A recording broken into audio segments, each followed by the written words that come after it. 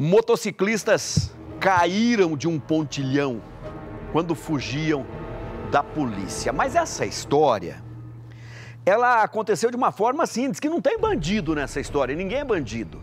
Só que é a molecada que vem de fora de Londrina porque sabe que aqui a coisa corre solta em relação àqueles rachas que são é, é, é, feitos aqui, principalmente às quartas-feiras. Ontem foi quarta-feira, não foi, Paraíba?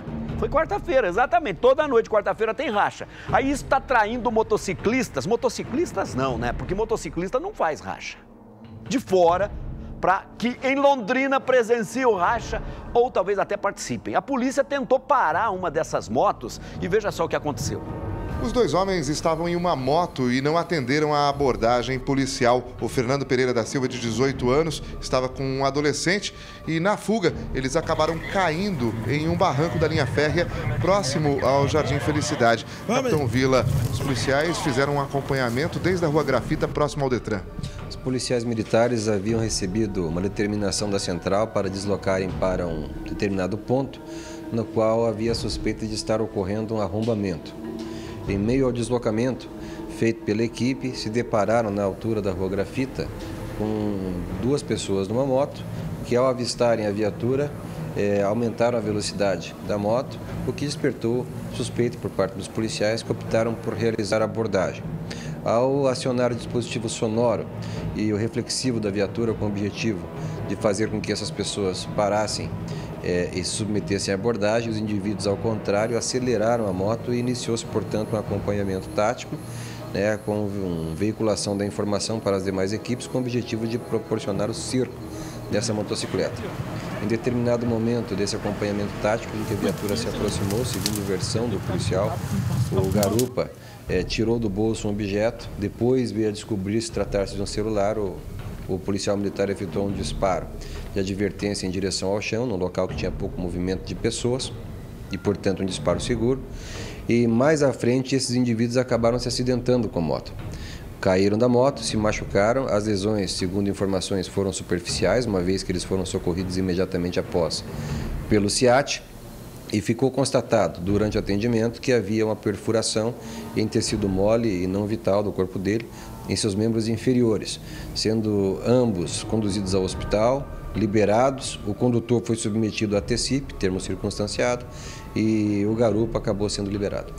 Olha só, inclusive essas informações foram trazidas de maneira muito clara pelo Samuel Ribeiro, que trabalha à noite, fez inclusive as imagens lá do pé do rapaz, você viu ali.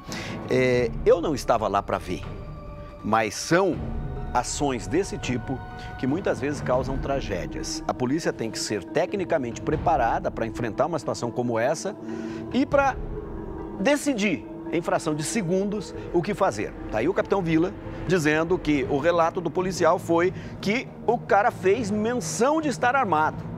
A polícia, o policial, ele tem segundos para decidir. Eu espero ou eu atiro? Eu não estava lá, eu não vi. Só estou dizendo que a polícia tem que estar tecnicamente preparada, porque é numa hora como essa que a pessoa não é um bandido, mas está fazendo uma coisa errada, de repente uma infração de trânsito, como parece ser o caso aí, e pode levar um tiro na cabeça, né?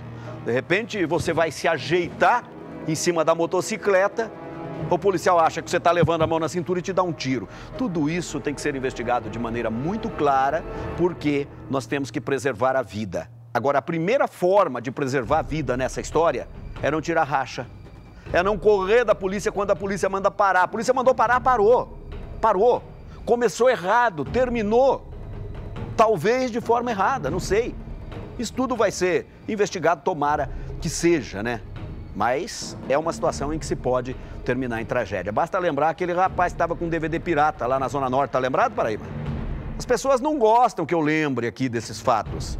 Mas um policial sentou o dedo, matou o cara é, em cima da motocicleta porque ele parece que estava sem carteira, estava com alguns DVDs piratas. Então tem que tomar cuidado com isso. Dos dois lados, de quem está na motocicleta, que motocicleta é manjado mesmo, não adianta falar que não é, pela polícia. É manjado, porque a maioria dos crimes que acontecem, acontece a partir de pessoas em motocicletas. E a polícia tem que estar tecnicamente preparada. Falei mentira? Lógico que não falei. Sei que não agrada quando eu falo esse tipo de coisa aqui, mas também não estou muito preocupado com isso, não.